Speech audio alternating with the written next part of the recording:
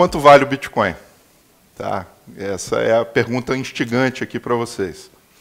Ou outro token nativo ligado a uma blockchain nativa. E aí eu vou fazer uma analogia com outros ativos para facilitar o nosso entendimento. Por exemplo, energia elétrica. Né?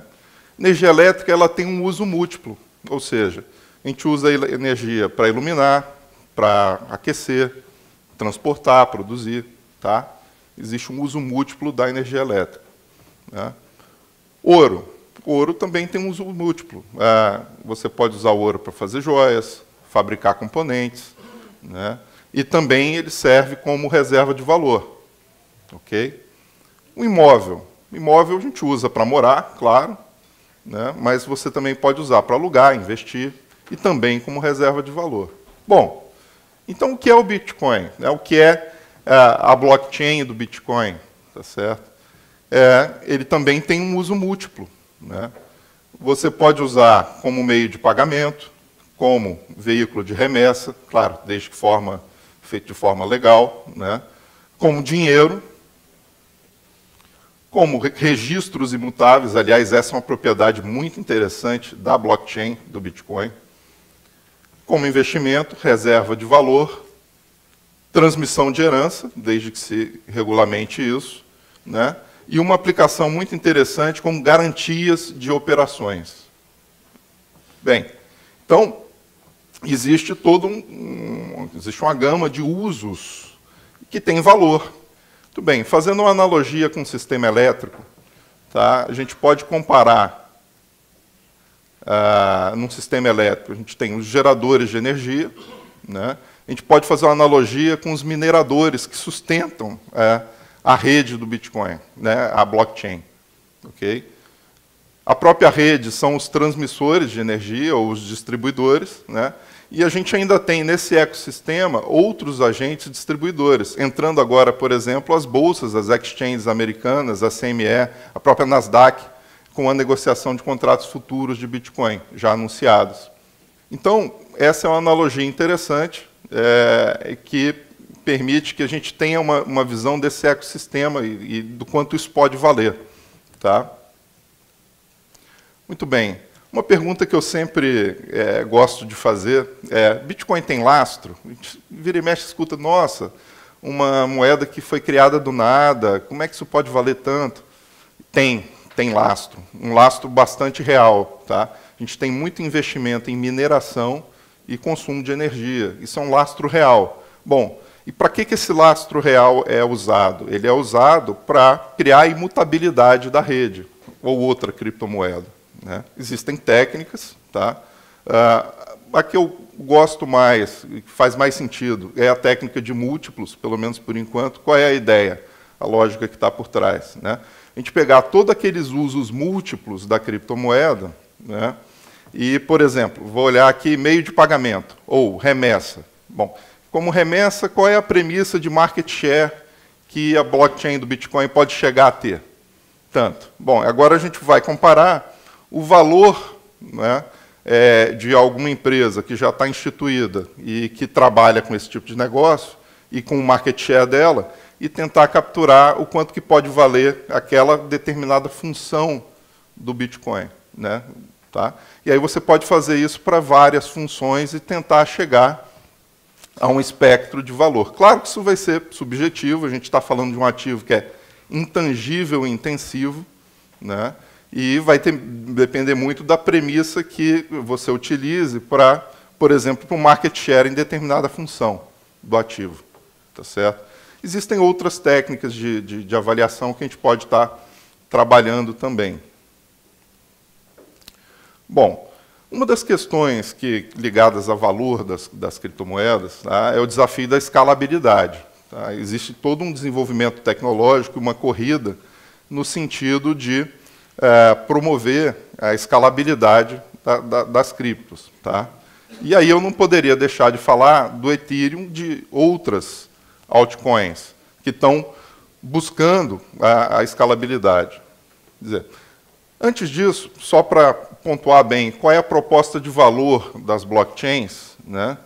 a proposta de valor da tecnologia, que seja algo seguro, imutável, programável, instantâneo, distribuído e transparente. Tá? Eu vou bater muito nessa propriedade aqui agora, na propriedade programável, falando do Ethereum, que foi a primeira blockchain programável, foi um, um ICO, né, é, feito em 2014, e que teve uma valorização bem grande. Mas o que está por trás é você trazer toda a propriedade de distribuição e mutabilidade e juntar uh, com a, a, permitir que a blockchain seja programável. Tá? Bem, então o Ethereum foi criado uh, por esse garoto, né, que distribuía revista de Bitcoin em 2013. Ele ganha uma bolsa e é, é, o, é o, principal, é, a principal pessoa dentro do projeto e cria a primeira blockchain programável. E qual é o desafio dessa blockchain programável? Imaginem nós rodando, né, você rodando contratos inteligentes, organizando, gerenciando negócios na blockchain via contratos inteligentes. Né?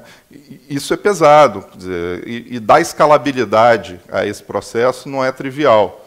Tá? Então, existe todo um, um trabalho para se escalar o Ethereum, o, o, próprio Bitcoin, de certa forma, né?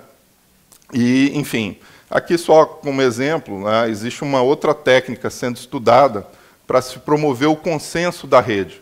Aliás, a Fundação Ethereum chama de Gasparzinho, Casper. Tá? Daqui, é, enfim, então existe todo um trabalho para se modernizar a rede, se desenvolver tecnologicamente a rede e promover escalabilidade. Né? Aqui um, um exemplo de. É, é a técnica que está por trás do Casper é uma técnica de consenso diferente, enfim, que envolve é, técnicas de prediction marketing, enfim, não vou me ater a detalhes aqui. Bem, e as criptomoedas estão evoluindo. Existem diversas outras criptomoedas, as altcoins, né? por exemplo, o Litecoin, que trabalha em parceria com Bitcoin, né? numa, numa Lightning Network. Tá? Um outro exemplo é NEM, uma criptomoeda é, japonesa, um projeto japonês também programável. Existem diversos outros projetos programáveis. Né? É, e um outro exemplo, Dash, Digital Cash, é, que tem uma governança diferente e que tem um sistema também de, de votação para agilizar o, o, processo de transferência da criptomoeda e contabilização, enfim. O fato é, é que a gente está tendo uma grande revolução em, com diversas tecnologias e diversas criptomoedas nativas, né, que representam blockchains. Bem, isso começa a gerar os, os ICOs, que são os Initial Coin Offers, e que é, foi propiciado pela, pela blockchain do, do Ethereum. Né? O que, que é, na verdade, um ICO? É você representar um determinado ativo como uma criptomoeda, tá certo? e, uh, uh, enfim, lançar esse ativo no mercado, vender esse ativo no mercado, fazendo uma, uma emissão pública. Tá? E aí a gente começa a ter o seguinte, né, a gente começa a ter um conceito de todos os projetos do mundo disputando por todos os recursos do mundo. Esse é um conceito diferente que vem à tona aqui com esse início de, de indústria de ICO. Tá? Só para vocês terem ideia, é, já existem sites fazendo estatísticas de ICO, né, é, fazendo rating de ICO, tá, mapeando ICOs, e, enfim, fazendo alertas sobre é, ofertas iniciais. Bem, e aí, é, com o advento da, do Ethereum, das blockchains programáveis, a gente pode representar, de fato, qualquer ativo da economia né, como uh, uma criptomoeda, como um token. Tá? Uh, desde uma blockchain nativa a uma ação de uma empresa, uma cota de um fundo, uma commodity, enfim. Até mesmo uma moeda fiduciária. Existe uma empresa chamada Tether que representa o dólar. Então, dólar Tether é o dólar no formato criptomoeda. Lógico que eles têm que lastrear esse, essa moeda fiduciária. Dólar, euro, enfim. Agora, o que eu queria chamar a atenção é para o caminho, para esse novo caminho do, do, do recurso. Né? É, vejam, você pode comprar criptomoeda numa exchange brasileira, tá? por exemplo, a Flow BTC, transferir essa criptomoeda para outras exchanges no mundo, tá? e entrar em ICOs, como, por exemplo, o Power Ledger, que foi um ICO de uma empresa de energia, uma startup de energia para rodar e para negociar energia na blockchain, que fez um ICO, vendeu suas ações né, e está lá na Austrália. Então, literalmente, você pode fazer um que eu gosto de chamar de escambo digital, transferir um ativo e receber outro. Né? É, receber ações da PowerLed, está lá na Austrália, vender numa bolsa, numa exchange que está na Nova Zelândia ou nos Estados Unidos, é, trocar por Bitcoin, trazer para o Brasil. Tudo isso entre aspas, né, porque isso está numa rede distribuída.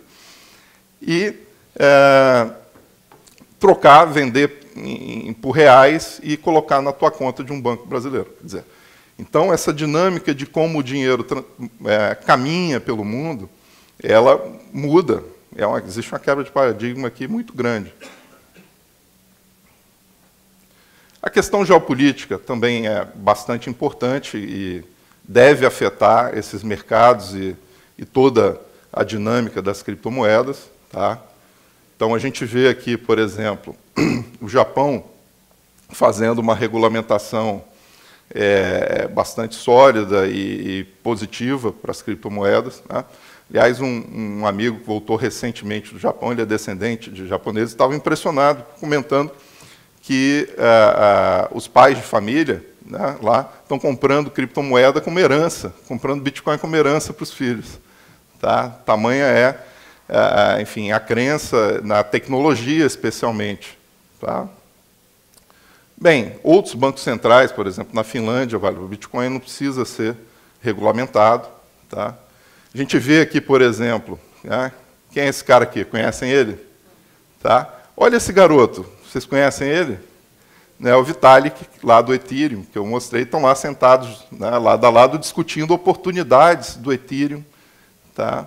Enfim, a Suíça criou um ambiente próprio, chamado, batizado de Crypto Valley, né, fica em Zug, perto de Zurique, é, justamente para promover ICOs e, e atrair startups é, desse ambiente de, de, enfim, de blockchain. Né.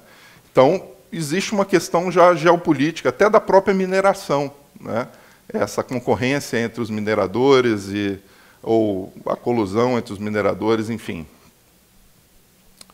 Bem, existem outras questões intangíveis aqui dentro das blockchains e das criptomoedas. Uma que eu, que eu queria abordar, que é algo libertário. Né?